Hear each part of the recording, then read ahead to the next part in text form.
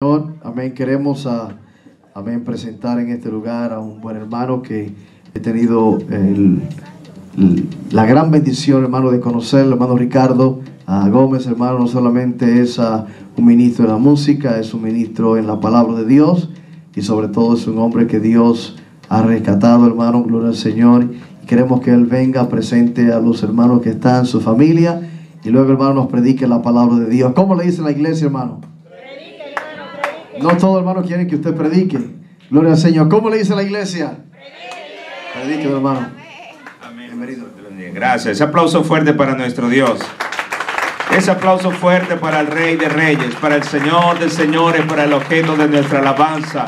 Usted y yo hemos venido a adorarlo a Él. Amén. Dios le bendiga, mis hermanos. Pueden tomar asiento por unos minutos. Qué bueno estar en ese lugar, en esta ciudad. Gracias, Pastor Saúl Núñez y su familia. Honro el ministerio que ellos manejan, tienen en ese lugar. Un pastor, hermano, es un siervo, es una persona común y corriente, pero que el Señor le ha puesto ese llamado, ese anhelo en el corazón. Y por eso usted está en esta tarde en ese lugar porque es el deber de un pastor, hermanos, ayudarlo, aconsejarlo, a congregarse, a que usted sea lleno de la presencia de Dios. Amén. Entonces, esta semana, hermanos, hemos estado, eh, gracias a Dios, sirviéndole al Señor fuertemente. ¿Cuántos estuvieron el martes? Hay varios acá. Amén. Qué bueno, hermanos, una bendición el día martes acá, el pastor Giancarlo Barriento, el hermano Alexander, que toca guitarra, eh, batería. Ellos están en otra congregación en este instante, pero hoy se encuentra con nosotros eh, la otra parte del grupo que no pudo estar el día martes, así que así se han separado, los conocieron a todos, amén. Eh, bueno, está mi hermano José Luis en la batería, eh, está con su niña allí en este momento, ellos están viviendo actualmente en Frederick, en el estado de Maryland, ya hace un año y un poco más que se vinieron. Allá atrás está la esposa del el hermano José Luis, está eh, también mi hermana Joana que canta, ella viene de Venezuela, estuvo una semana por acá, ya mañana en la mañana salen a Venezuela nuevamente, y también está por allá mi esposa con mi niña, levanta la mano, allí está, las mujeres más hermosas. Sin discusión, no importa a qué parte del mundo vaya. Para mí son las mejores. Y qué bueno, hermano, yo sé que usted tiene su tesoro por allí también. Hermano, le felicito por la iniciativa de ese taller antes de decir acepto. Es muy importante, hermanos, muy, muy importante. Aquí hay dos pastores y saben que, hermanos, eso es un problema a veces para los pastores, dolores de cabeza que a veces los padres no logran hacer. Y, hermanos, si usted ya está casado, tiene que venir también. Porque a veces la piden a uno consejo y uno tiene que saber qué aconsejar. Entonces buena esta oportunidad, no importa la edad que usted tenga, hermanos, nunca vamos a terminar de aprender. Dicen por allí que uno nunca termina de conocer a su pareja, a veces ni uno mismo se eh, logra conocer del todo, así que aproveche esa oportunidad porque en la Biblia hay mucho. Hay mucho de qué hablar acerca del noviazgo, del matrimonio, de estas relaciones, amén. Y hay hombres de Dios, hermanos. A mí me llama la atención que Salomón era un hombre muy sabio más sabio que cualquier cosa. Y él termina los proverbios diciendo, mujer virtuosa, ¿quién la hallará? Y él se hace esa pregunta porque Salomón siendo tan sabio no consiguió una mujer con quien hacer un hogar. Él heredó eso de su padre David, que bueno, hablamos de él mucho en el culto de niños, hombre, pero su vida familiar fue un desastre, hermano. Y la Biblia tiene muchos ejemplos, hermanos, y tenemos en este siglo XXI que cuidar nuestras familias. Sí, Señor. No sé si me entendió. Tenemos que cuidar nuestras familias. La familia es nuestra primera iglesia. Pastores, la familia es su primera iglesia. Así que vamos a orar, a cuidar nuestro hogar, a dedicarle tiempo a nuestra pareja, a nuestros hijos. Y el Señor se va a agradar porque somos responsables de la vida de nuestras familias. Amén. Entonces, hermanos, ya pues como ustedes han escuchado, somos una agrupación musical. Tenemos 16 años aproximadamente trabajando en la música y gracias a Dios pues que Él ha abierto puertas. Yo tengo dos meses acá trabajando bajo el ministerio del pastor Santos Sosa, muy amigo del hermano eh, Saúl. Allí estamos en Chelsea, en el estado de Massachusetts, sirviendo a Dios con la música, con las enseñanzas, en todo lo que el Señor permita hacer, hermano. Les ruego sus oraciones por nuestro país. Venezuela está atravesando una situación muy difícil. Yo sé que usted ha visto noticias en lo económico, en lo social, en lo político. La iglesia pues ha, sentido ciertos embates, pero yo le doy gracias a Dios que en nuestra casa no ha faltado alimento y en la de ninguno de nuestros hermanos. Hay gente que sufre, hermanos, grandes cosas. Mi mamá es diabética, ya necesita insulina. Y aquí hay mucha gente, hermanos, que tiene carencias. Hasta el último día se han conseguido lo que necesitamos. Entonces, hermanos, el Señor nos ha estado guardando, sabemos que pronto va a suceder algo, es lo que dicen los es lo más probable en cuanto a las proyecciones en todo lo que está sucediendo en el país, pero oremos por nuestra Venezuela. Venezuela es un país hermoso, es un país rico, es un país abundante, hermanos, de naturaleza, de muchos bienes. Y hermanos, hay mucha gente que ahora está buscando de Dios. Ya, hermanos, estamos llegando a dos mil iglesias en todo el país una conferencia de pastores, eso es una convención prácticamente. Y le damos gracias a Dios porque donde abunda maldad, sobreabunda la gracia.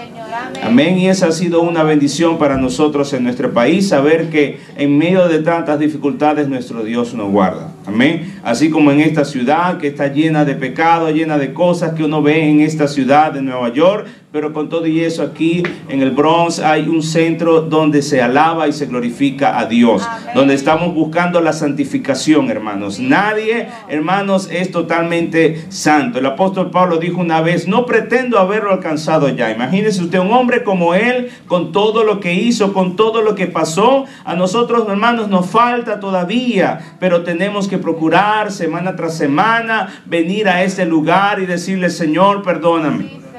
Señor, ayúdame. Señor, bendíceme. Y esa debe ser nuestra meta, hermanos. Si algún día, si el Señor no ha venido y nosotros morimos, vamos a tener todo garantizado para entrar al reino de los cielos. Como dice ese corito, camino al cielo, yo voy. Amén. Vamos a, la palabra de Dios, hermanos. Les voy a invitar a ponerse en pie. Quiero, hermanos, compartir un pensamiento con ustedes acá en esta tarde ya. El tiempo ha avanzado bastante, ya van a ser las 5 Hermanos, hemos tenido, como les dije, una semana bien, bien, bien ajetreada. Empezamos acá, terminamos acá. Y qué, qué bendición. El jueves estuvimos en una iglesia, el viernes en otra, el sábado en otra, esta mañana en una.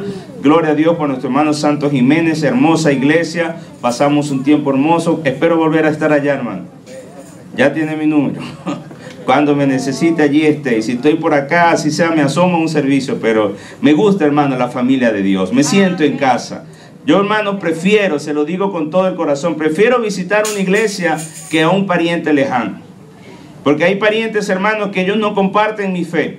Y ellos llegan a hacer cosas que yo no comparto. Y yo hago cosas que ellos no comparten. Y no me siento en casa, aunque tengamos la misma sangre. Pero usted no le conozco. No sé de qué país viene, pero nuestro Padre es el mismo. Y yo me siento como en mi casa. Y yo le amo y le aprecio en el amor del Señor porque nuestro Padre es el mismo. Nuestro Padre es el mismo. Y por eso estamos acá sirviéndole. Vamos a buscar, hermanos, en Isaías capítulo 55. Voy a leer un solo verso de la palabra de Dios. Isaías capítulo 55, verso 8.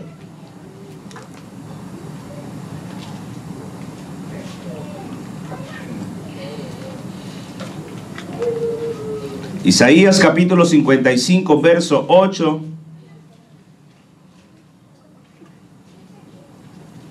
Cuando lo hayan encontrado pueden decir amén. Amén. Amén, gloria a Dios. Isaías capítulo 55. Esperar acá un hermano está buscando. Es bueno, hermanos, leer la palabra de Dios. Nosotros los que estamos en este lugar, hermanos, no hablamos lo que pensamos, lo que queremos, lo que, lo que se nos ocurra. El Señor tiene palabra para nosotros. Y yo quiero que Dios me hable a mí primeramente y que le hable a cada uno de ustedes. Isaías capítulo 55, verso 8, yo voy a leer en el nombre de Jesús, siga allí en su Biblia. Dice, porque mis pensamientos no son vuestros pensamientos, ni vuestros caminos mis caminos. ¿Dijo quién? Dijo Jehová. Léalo conmigo todo el verso nuevamente. Porque mis pensamientos no son vuestros pensamientos, ni vuestros caminos mis caminos dijo Jehová. Lean un poco más fuerte. Porque mis pensamientos no son vuestros pensamientos, ni vuestros caminos mis caminos, dijo Jehová. Bendito Padre Celestial, Señor Jesucristo. En esta tarde estoy delante de tu presencia, Señor. Vengo a este lugar, Señor, adorándote y glorificándote a ti, Jesucristo. Hemos sentido tu presencia en las alabanzas, Señor, pero queremos que tu palabra nos hable en esta tarde, Jesucristo. Reprendo en esta hora cualquier espíritu de distracción, cualquier espíritu que quiera interferir en el fluir de tu palabra, Señor Jesucristo. Quiero que tú me uses, Señor, como un canal de bendición y que la palabra que va a salir de mis labios, Señor, sea ungida por el poder de tu Espíritu Santo. Que esta palabra, Señor, sea una semilla que haya, Señor, un corazón dispuesto a recibirla y que en su tiempo dé el fruto de vida. Porque es tu palabra, Jesucristo, esa espada de doble filo que penetra hasta partir el alma, Jesucristo. Queremos, Señor, que tú nos hables en esta tarde. Yo tengo hambre, yo tengo sed, yo necesito que tu palabra me instruya y me edifique y me haga el cristiano que tú quieres que yo sea, Señor. En el nombre de Jesús. En el nombre de Jesús. Aplauda fuerte el nombre de Jesús en esta tarde y tome asiento.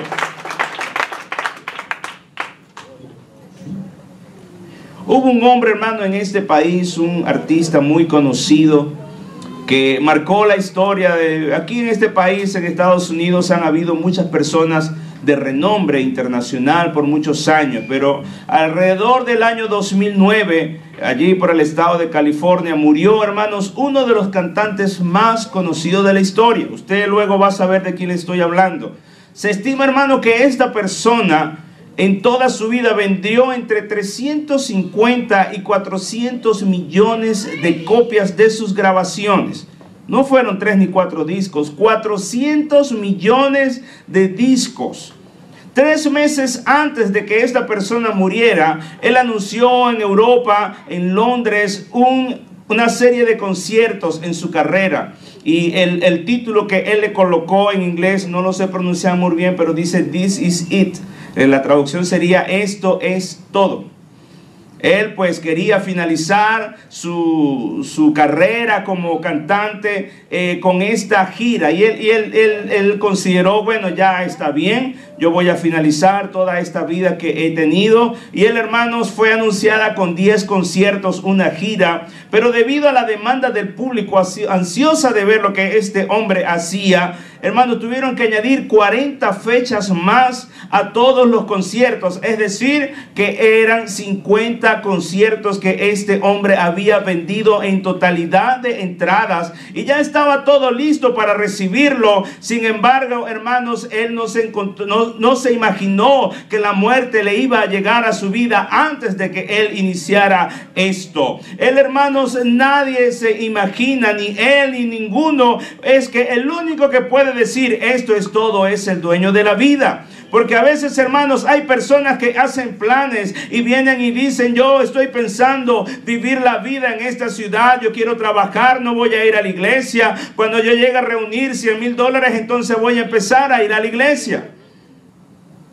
Hay gente que llega y dice, yo estoy muy joven para ir a la iglesia. O hay otras personas que dicen, yo estoy muy ocupada para ir a la iglesia. Y no se ponen a pensar, hermanos, que los pensamientos que hay en nuestra mente no son lo que Dios tiene predestinado para nosotros. Por eso el profeta en una ocasión llegó y dijo, porque mis pensamientos no son vuestros pensamientos.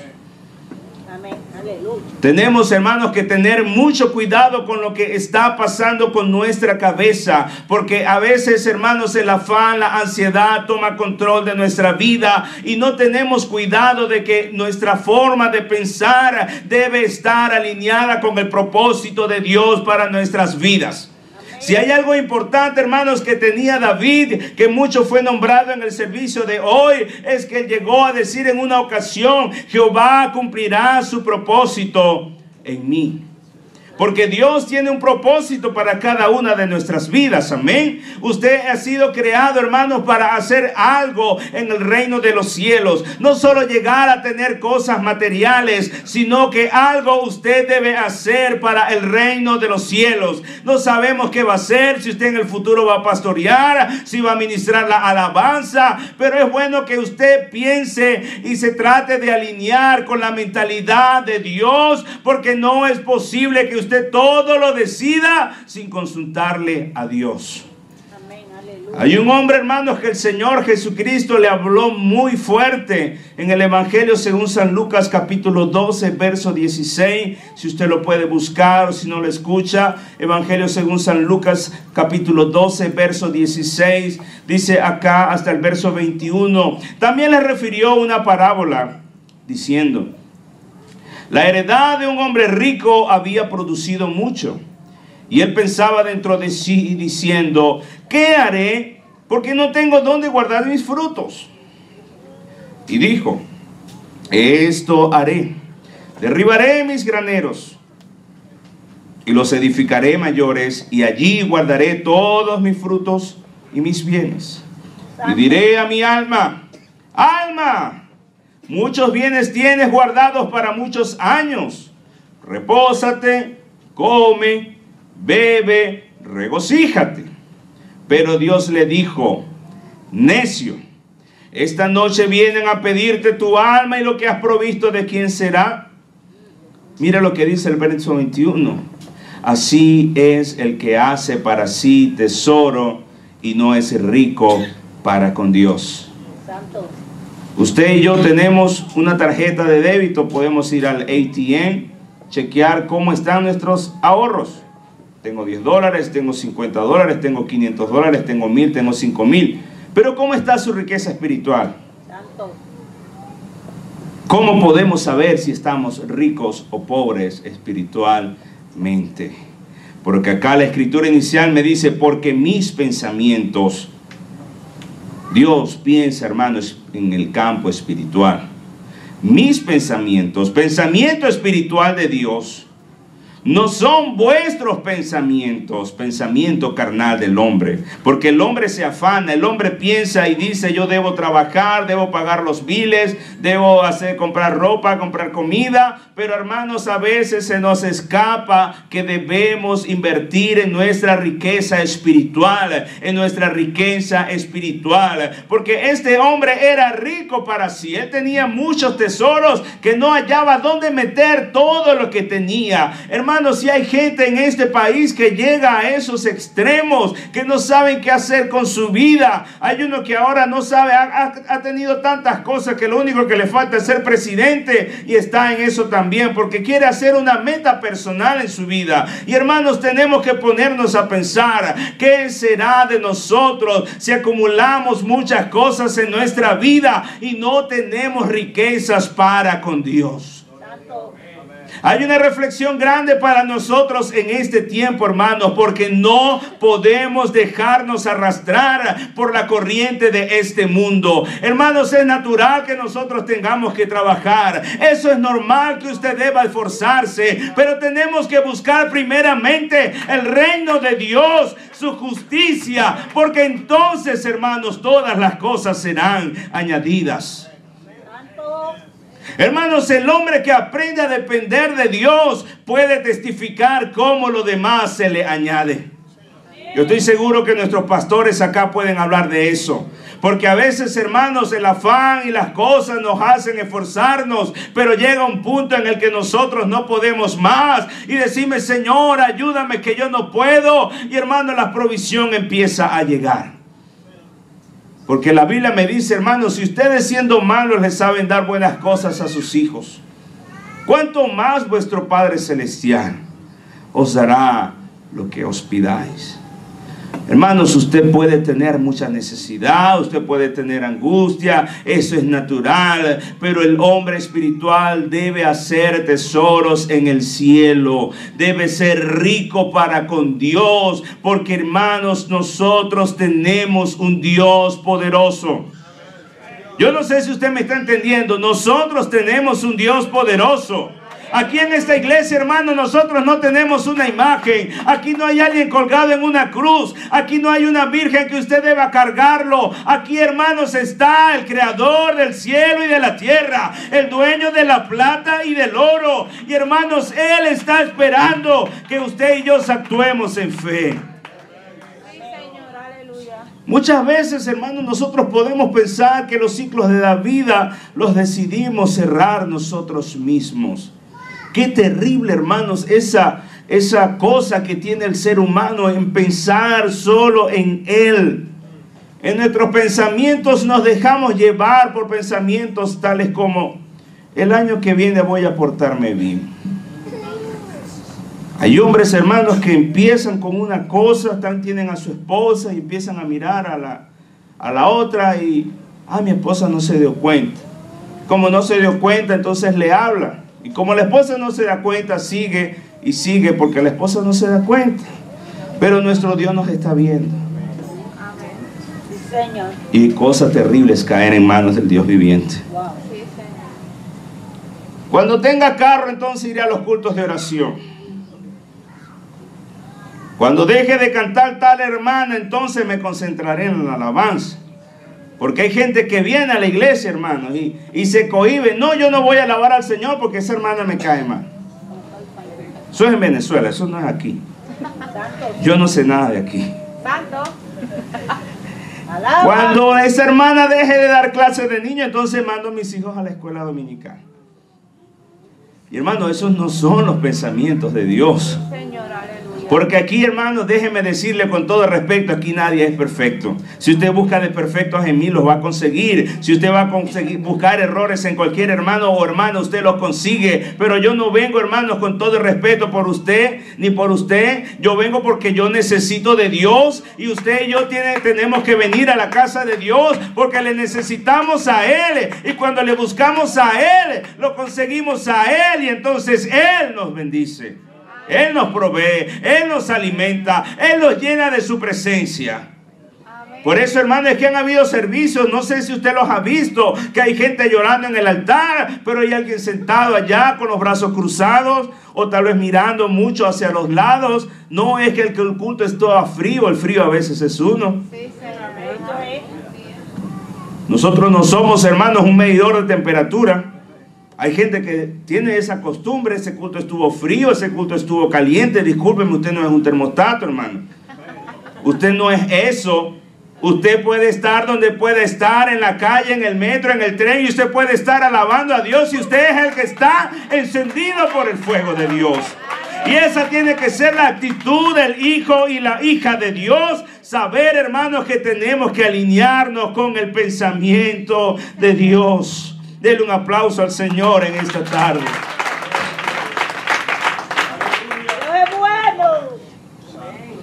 Hermano, la vida del cristiano a veces cae, o la vida del ser humano por lo general.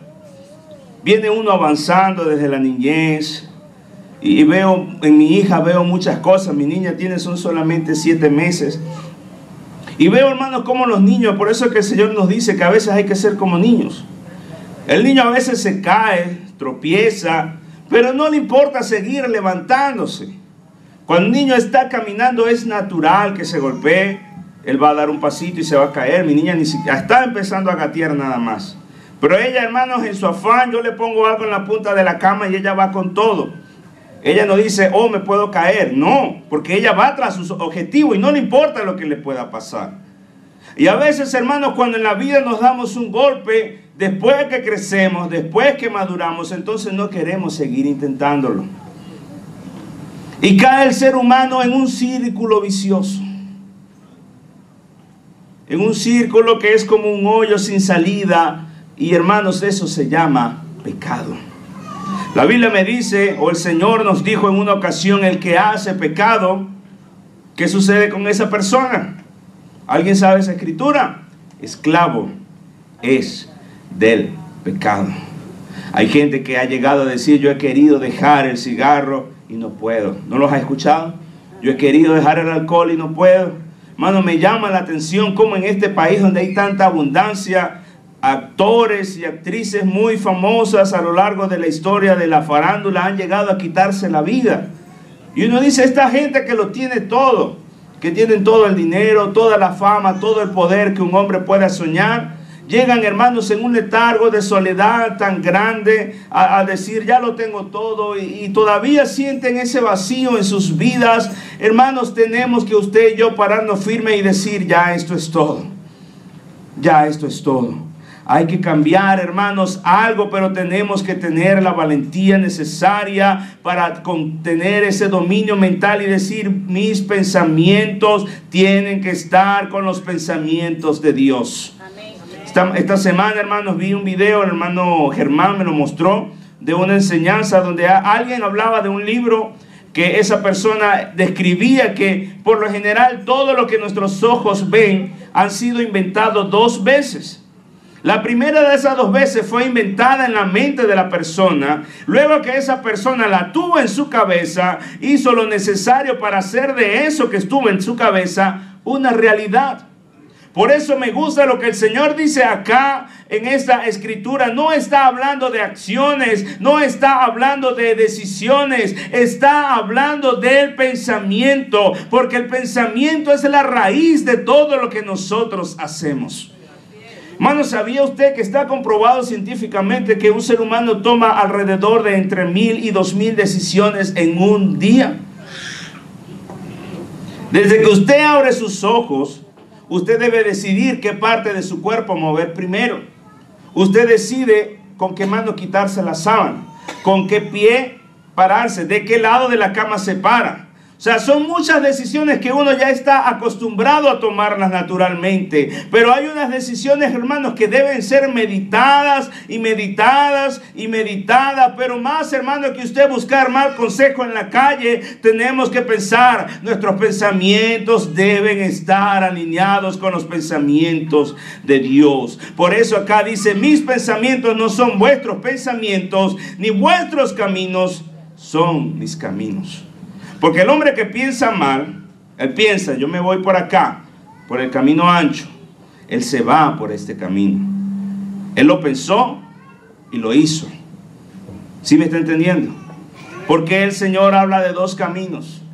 Y aquí en Nueva York está el camino más ancho, hermano. Aquí hay todo lo que usted se puede imaginar. Fui con los muchachos el miércoles, que creo que fue el único día que tuvimos libre, a Manhattan, hermanos, y qué terrible lo que uno ve por allá. Y hermanos, aquí hay que estar agarrado de Dios para no andar, hermanos, porque las tentaciones están a la luz del día. Eh, uno sale por allí en la calle y le llegan, hermanos, mujeres como si nada. Ya no es como antes. Antes el hombre buscaba a la mujer, ahora la mujer lo busca a uno. Y eso que yo soy feo, hermano. No soy un modelo, ni ninguno de los muchachos que estaban conmigo. El hermano Giancarlo y el hermano Alexander. Y uno oye a esas mujeres decirle cosas y hablar y mirar y cosas. Y uno dice, hay poder en el nombre de Jesús, hermano. Como gente cae en lascivias, en placeres y no se dan cuenta que al pasar de los años van a ser incapaces de tener lo que un hombre y una mujer de Dios pueden construir. Porque no hay nada más hermoso, hermanos, que una familia bajo la bendición de Dios. Dios instituyó, hermano, un hombre y una mujer que se puedan amar, respetar y procrear hijos. Usted se imagina, hermano, que en todo el mundo un hombre hubiese estado con una mujer. Jamás existiría el SIDA, jamás existirían esas enfermedades que hay por allí. Y hermanos, en este país sobre todo ha llegado el extremo de la gente justificar a hombres y mujeres que quieren del mismo sexo formar una familia. Qué terrible lo bajo que llega el hombre, hermano. Primero el hombre y la mujer no se quieren casar.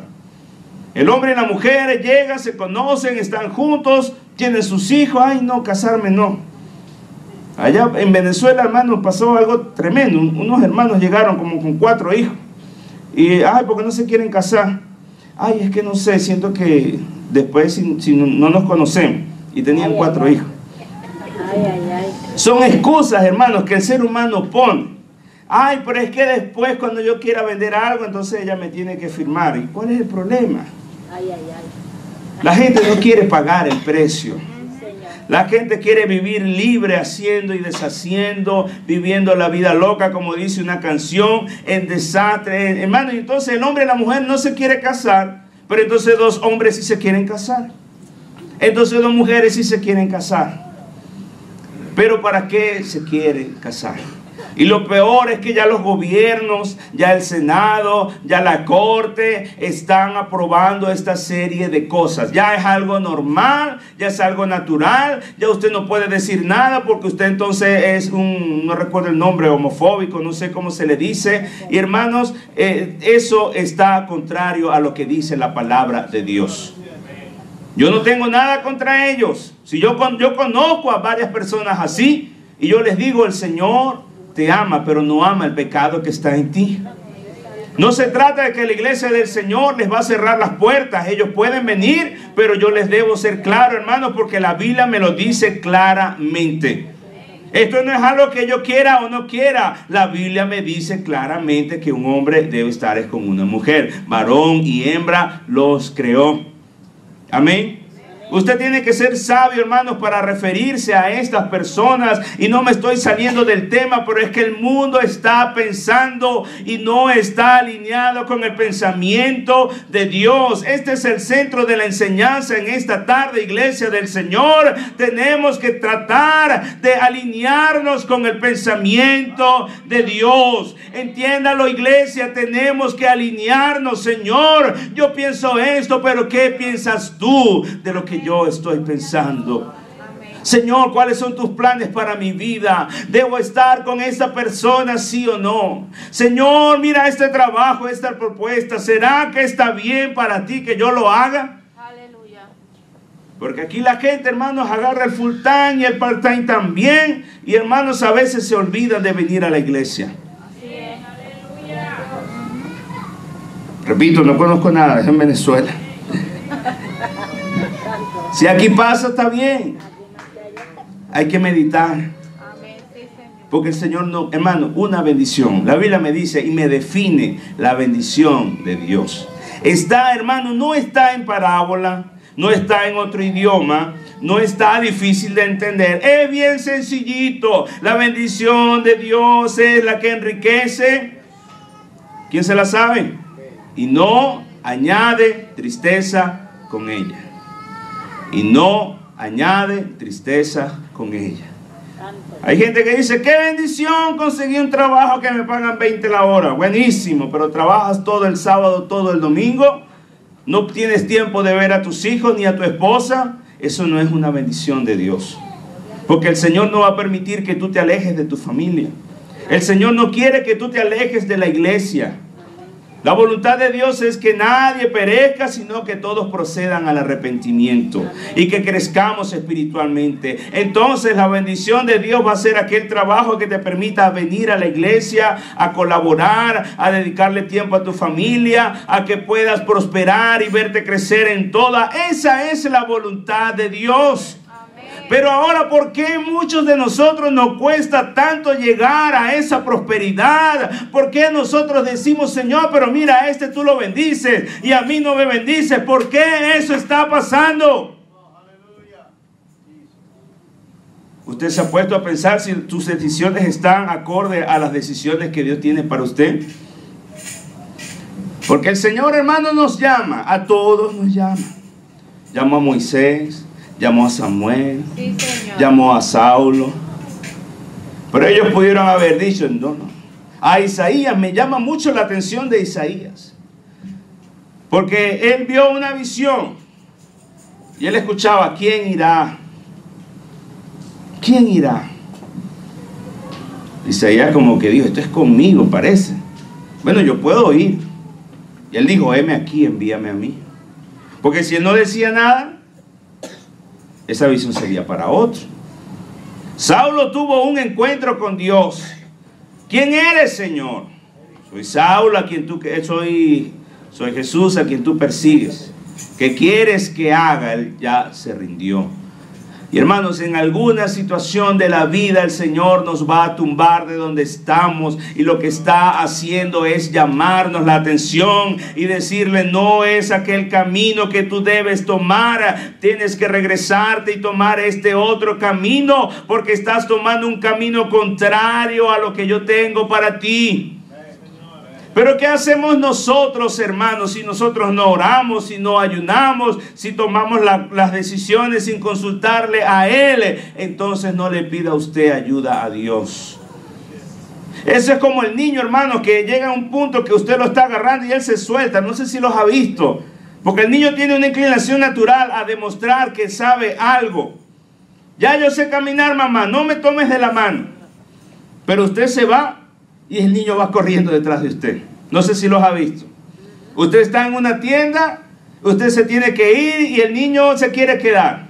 No, mamá, todavía no. No, mamá. Ah, te quieres quedar. Bueno, yo me voy, chao. Yo he visto a las mamás que lo hacen. Y él llega a un punto en el decir, hey, no, yo no puedo estar sin mi mamá. Yo me voy con mi mamá. Y entonces, hermano, cuando el Señor le está llevando a usted de la mano y usted dice, no, Señor, ya yo no te necesito, el Señor se va. Pero usted qué hace entonces? ¿Se queda solo? Si usted se queda solo, esa es su decisión. Por eso él en una ocasión dijo, yo estoy a la puerta y llamo.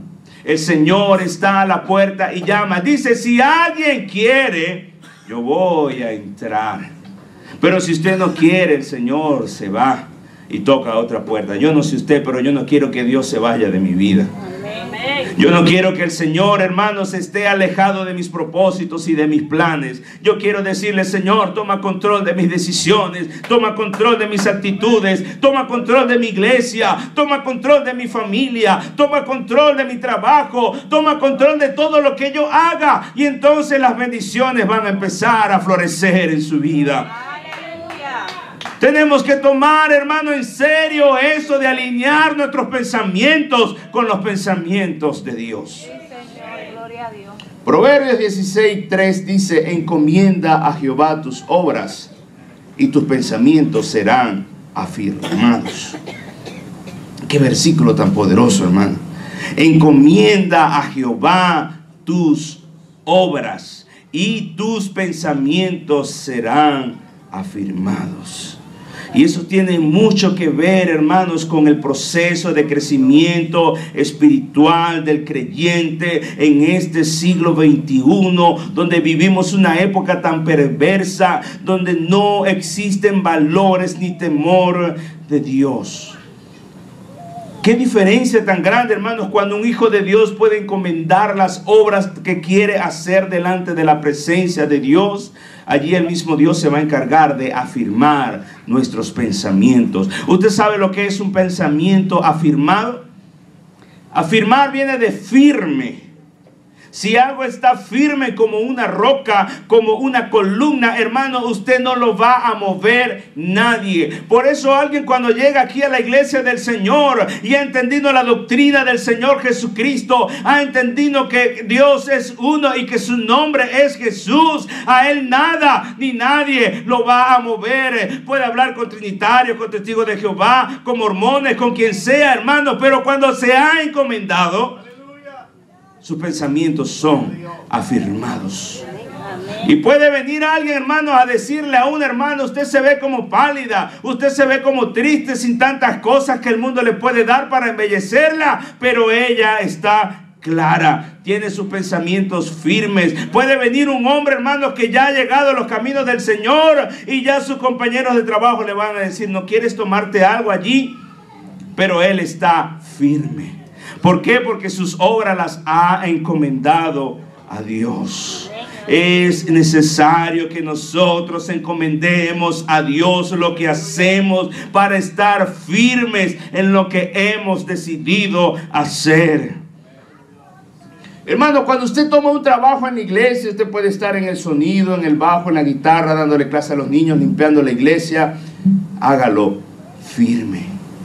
Hágalo como para Dios y no para los hombres. Hágalo y ore, Señor. Mira el trabajo que estoy haciendo para ti. Señor, esto no es para los hombres. Porque alguien no va, no va a faltar alguien por allí que le diga, Pero tú qué te crees? Ese pastor que se cree que te pone a ti a limpiar. Casos de la vida real, hermano. Si no le ha pasado, le puede pasar. Vamos a decir que pasó en Venezuela. Y ese pastor que se cree que te tiene cargando cornetas, o que lo tiene con esos niños, ni que tú fueses maestra, ¿y cuánto te pagan? Hermano, porque es que la gente es tremenda cuando no está alineada con el pensamiento de Dios. No entienden que todo esto es una labor tan hermosa, hermano. Yo me siento tan contento cuando estoy tocando el piano y veo que alguien está llorando, que alguien se está acercando a la presencia de Dios. A mí no me importa más nada, hermano. Si yo estoy limpiando la iglesia y sé que un santo del Señor va a venir a orar y va a decir, Señor, yo vengo a tu presencia y se arrodillo y ese hermano puede estar cómodo en esta casa, yo digo, gloria a Dios. Así tenga que limpiar los baños, hermanos, son los baños de la casa de Dios. Así tenga que hacer una comida, hermanos, sea hágala con amor, porque usted lo está haciendo para Dios y esa es la clave del crecimiento. ¿Cuántos quieren un templo propio aquí en Nueva York? ¿Usted quiere un templo propio aquí en el Bronx? ¿Será que es imposible? No. No es imposible. ¿Qué hace falta para hacerlo realidad? Usted sabe qué hace falta. Hace falta dinero. Pero ese dinero, ¿cómo se consigue? Nosotros no dependemos de la economía de este mundo. Nuestra ciudadanía está en los cielos.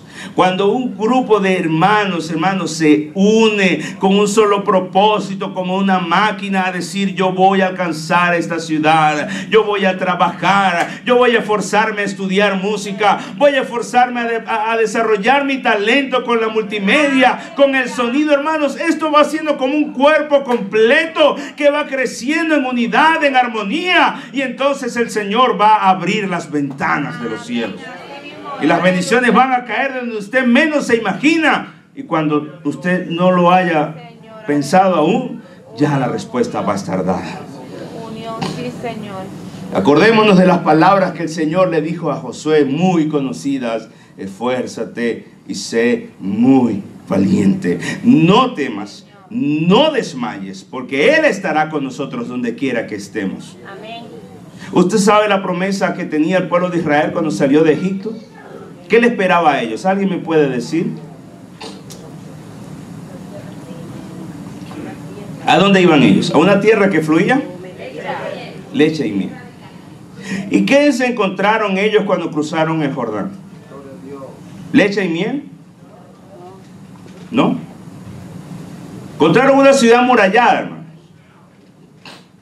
Resulta que ellos se tenían que sudar cada milla cuadrada de terreno, cada pie cuadrado de tierra prometida. El Señor no se las puso así en una bandeja de plata, como en las revistas de una religión que dibuja a los niñitos jugando con los leones y las uvas y la cosa. Así no fue, hermanos.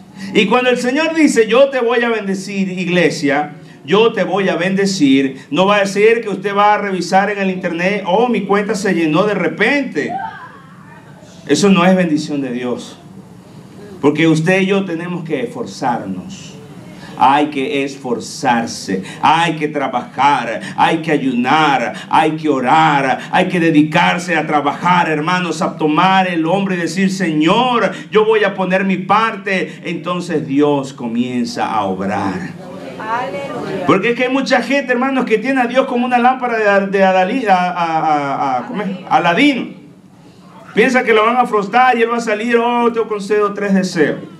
Ah, yo quiero un carro, quiero una casa y quiero dinero. No, hermanos, ese no es Dios. Eso no es Dios. No venga a buscar a Dios solo cuando le necesita. Búsquele a Dios porque le ama. Y venga a este altar y diga, Señor, yo te amo. Inicie una oración siempre siendo agradecido con Dios. E iniciemos, hermano. Es que a veces el problema está en... No, no a veces, siempre el problema está en nosotros. Desde que Dios hizo al hombre, hermano, tendríamos que irnos al Génesis y hablaríamos por hora del problema de Adán, de Eva, cómo ellos se dejaron tentar porque no estaban juntos.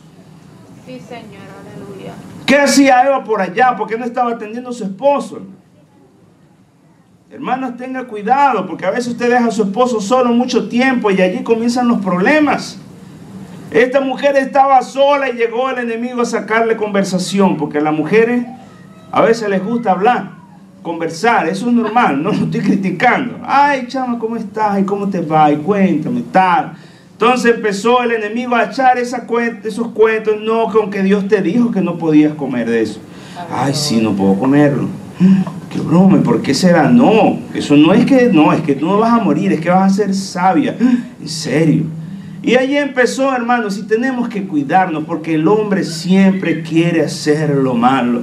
El espíritu y la carne, dice la Biblia, tienen una batalla constante, pero es su decisión quién vence a quién. Si usted se descuida, hermanos, la carne se va a comer su vida espiritual y usted va a vivir una vida derrotado, una vida de miseria, una vida alejado de Dios. Pero qué bueno cuando usted y yo nos podemos levantar y decir mis pensamientos van a estar alineados con los pensamientos de Dios. Entonces yo cambio lo que estoy haciendo mal y digo, aunque mi carne me quiera dominar, yo voy a ir a la iglesia. Aunque a mí me dé hambre, yo voy a ayunar. Aunque a mí me dé sueño, yo voy a vigilar. Aunque no me provoque orar, yo voy a decir, Señor, voy a clamar, voy a clamar, voy a luchar por mi bendición, voy a luchar porque yo sé que la palabra tiene promesas para mí. Y entonces la vida comienza a cambiar. Pero hay que esforzarse, iglesia. Hay que esforzarse. Hay que luchar. Hay que ser constantes en todo lo que hagamos. Yo creo que todos no sabemos Filipenses 4:13. Todo lo puedo en Cristo que me fortalece. Y eso lo decimos, lo decimos, hasta los niños se lo saben. Pero a veces hay pruebas, hermanos, donde será que yo lo puedo. Y a veces nos rendimos y se nos olvida hablar con Dios. Pero qué bueno la palabra que el Señor tiene para nosotros, porque mis pensamientos no son vuestros pensamientos, ni mis caminos, ni, vuestros caminos, mis caminos, dijo Jehová. El verso 9 del capítulo 55 de Isaías dice, ¿cómo son más altos los cielos que la tierra? Así son mis caminos más altos que vuestros caminos, y mis pensamientos más que vuestros pensamientos. Porque como desciende de los cielos la lluvia y la nieve, y no vuelve allá, sino que riega la tierra y la hace germinar y producir, y da semilla al que siembra, y pan al que come, que dice, así será mi palabra que sale de mi boca. No volverá a mí vacía, sino que hará lo que yo quiero y será prosperada en aquello para que la envíe. Hermanos, la palabra que se predica en ese altar es como la lluvia que desciende de los cielos. Esa lluvia cae, hermanos, y cae en tierra cumple su propósito, nadie la puede detener. Un paraguas pequeño, un techo de una casa, un techo de un building no puede detener la inmensidad de la lluvia que Dios hace descender sobre la tierra. Y esa lluvia, hermanos, eh, llega a regar la tierra y hace que germine. Qué hermosa la primavera cuando esos árboles que uno pensaba que estaban muertos empiezan a florecer nuevamente. Eso que estaba sin hojas, sin nada, empiezan nuevamente a florecer. Y hermanos, en nuestras vidas, por más invierno que haya, por más hermanos, tiempo de oscuridad, de frío, que no podamos producir, debe llegar una primavera en nuestra vida. Debe llegar el tiempo en el que la lluvia de la palabra de Dios caiga sobre nosotros y entonces esa vida improductiva espiritualmente va a empezar a salir hojas, va a empezar a salir hojas, va a empezar empezar, hermanos, poco a poco a dar el fruto y entonces su vida debe cambiar. Debe cambiar. Usted no debe hacer nada, hermanos. Esto no es difícil, pero tenemos que pagar este precio. Simplemente decir, Señor, háblame. ¿Cuánto le gusta que Dios le hable? ¿A usted le gusta que Dios le hable? El detalle está que no siempre lo que Dios nos dice nos gusta. Porque hay un dicho muy coloquial que dice que a nadie le gusta que le digan la verdad en su cara. No sé si aquí lo dicen. Pero en Venezuela lo dicen mucho. Y al ser humano a veces le cuesta, hermano. Cuando llega esa palabra, le duele uno. Mi esposa me dice a veces, mira, eso no está bien. Tienes que, Y yo pienso en sus palabras y digo, tienes razón. ¿Por qué me voy a molestar? Hay hombres que dicen, no, yo soy el hombre, yo soy el macho, me respeta. Y con esa actitud, hermanos, si uno sigue así, termina separándose, hermano. La mujer es la ayuda idónea del hombre. El hombre no es ayuda idónea de la mujer. Más necesita un hombre de una mujer que una mujer de un hombre. Piense en lo que le estoy diciendo y se dará cuenta que tengo razón. A la mujer le dicen el sexo débil, pero realmente es más fuerte que uno. Es la que da a luz, es la que lleva a su hijo en el vientre, empezando por allí. Pero eso, hermanos, que Dios lo hizo, tiene un plan, tiene un propósito. Amén. Y así, hermanos, como yo escucho la voz de mi esposa y digo, bueno, medito en ella. Aunque a veces en el momento puede no me guste, pero analizo y tienes razón. ¿Por qué, hermanos, a veces llega el pastor y dice algo y a ese pastor que se cree? O ese pastor o ese hermano que se cree vino desde Venezuela a decirme lo que tengo que hacer. Y sale usted peleando. Hermano, Dios le está hablando. Dios le ama. Amén. Cuando son palabras de gozo y esas predicaciones de danzar y de gritar, wow, qué bendición. Pero a veces el Señor tiene que llamar a reflexión a la iglesia porque el crecimiento lo da el estudiar y escudriñar la palabra de Dios. Por eso Él nos lo dijo claramente, usted debe escudriñar las escrituras porque a vosotros os parece que en ellas está en la vida eterna. Y ellas son las que dan testimonio de mí. Hermano, el Señor no nos mandó a leer la Biblia. Él nos mandó a escudriñar la palabra de Dios. Escudriñar significa examinar minuciosamente. Yo a ustedes los estoy viendo, pero no los estoy escudriñando. Si yo los escudriñara, yo, si yo los viera, yo digo, aquí hay un grupo de hermanos. Listo. Pero cuando yo los escudriño, yo digo, bueno, aquí hay tantos hermanos, hay tantas mujeres, hay tantos hombres, las mujeres tantas tenían el cabello así, los ojos asados. Empiezo yo a desglosar lo que mis ojos están viendo. Pero cuando usted lea la palabra de Dios, hermano, escudriñe. Señor, háblame. Y cuando viene una palabra, tenga su cuaderno, su lápiz y diga, Señor, esto es para mí. Gracias, Señor, porque tú me amas. ¿Cuántos padres hay acá? Levanten la mano a los padres. ¿Cuántos aman a sus hijos? Todos amamos a nuestros hijos. ¿Usted alguna vez ha regañado a su hijo? Seguro. Seguro hasta una nalgadita le ha dado. O más. ¿Por qué lo hace? Por amor. Por amor. Usted ama a su hija, hermano. Y por eso cuando el hijo se porta mal, usted viene y le da, ¿no? O le regaña, le alza la voz. Nuestro Padre Celestial nos ama. Sí. Y su palabra, hermanos, su palabra tiene tanta fuerza. Su palabra, hermanos, tiene tanto para nosotros. Pero nosotros tenemos que decir, Señor, yo quiero que mis pensamientos estén alineados con los tuyos. Hermano, en momentos de debilidad, cuando por nuestra cabeza lo que pasa son puros pensamientos de pesimismo, de desánimo, de desesperación, en esos momentos y en todo momento debemos tener presente que los pensamientos de nuestro Dios son más altos que los nuestros. Él lo compara, hermanos, y dice, porque como son más altos los cielos que la tierra.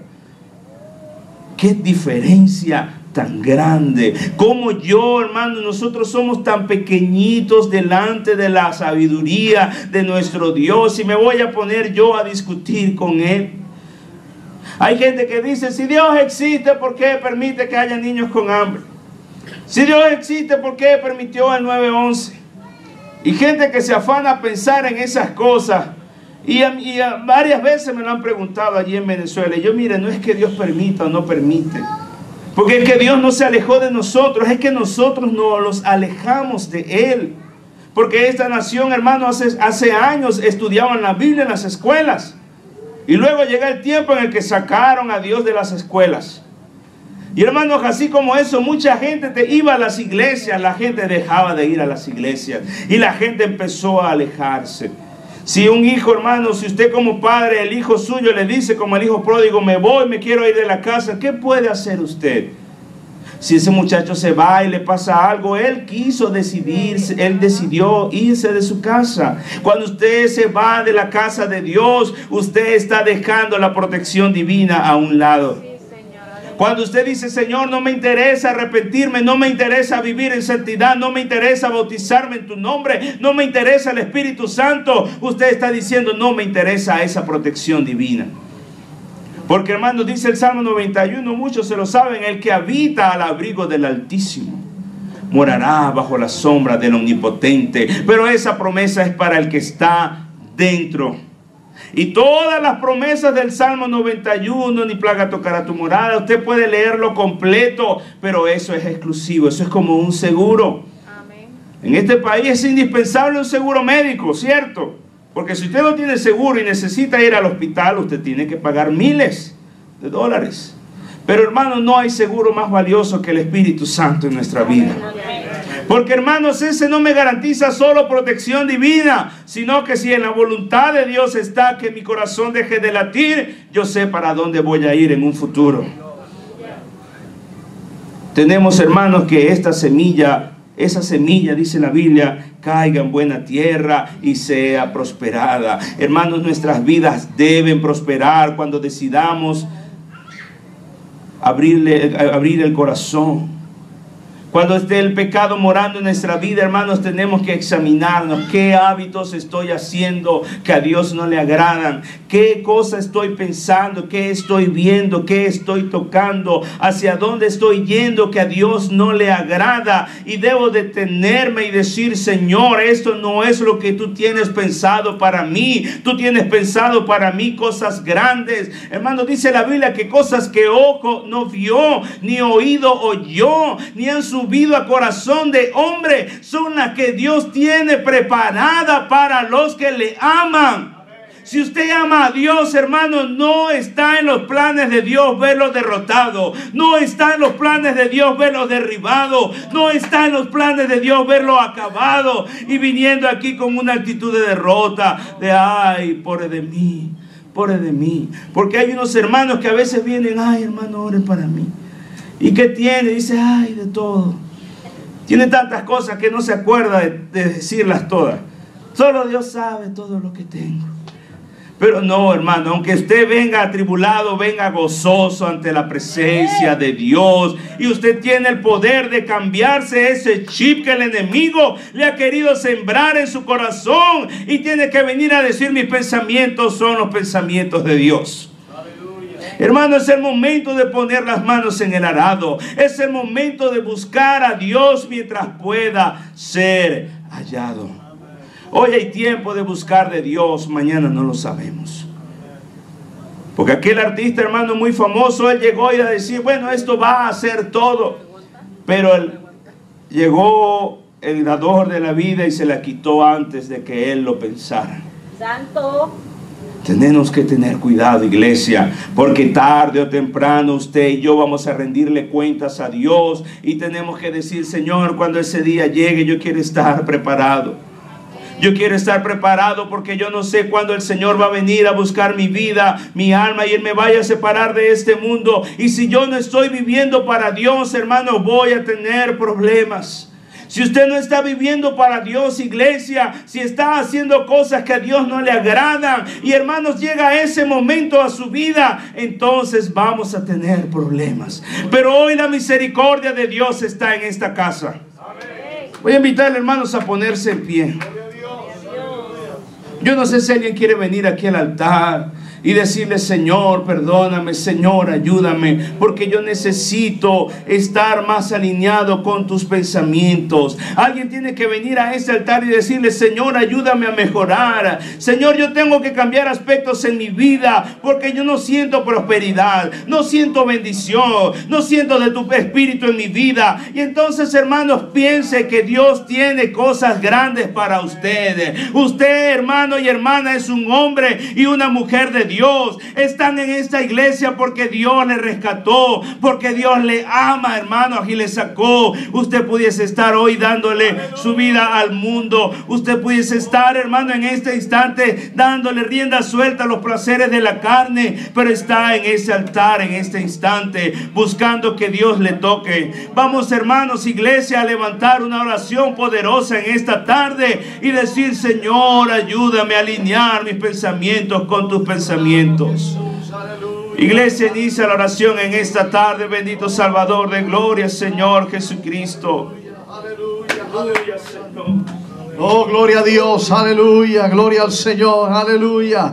Oh, hay poder en el nombre de Jesús, aleluya. No levante un clamor al Dios Todopoderoso, aleluya. No importa cuál sea su situación, no importa cuál sea su dolor, no importa cuál sea su quebranto, no importa, aleluya, por lo que usted está atravesando. Hoy Dios ha escuchado, aleluya, oh, su gemido. Hoy Dios ha escuchado tu clamor. Hoy Dios está atento, aleluya, a toda tu dificultad. El el amor de Dios es incomparable. Aleluya. Oh, sí, Señor, sí, Señor. Te adoramos, Dios, te honramos, te bendecimos.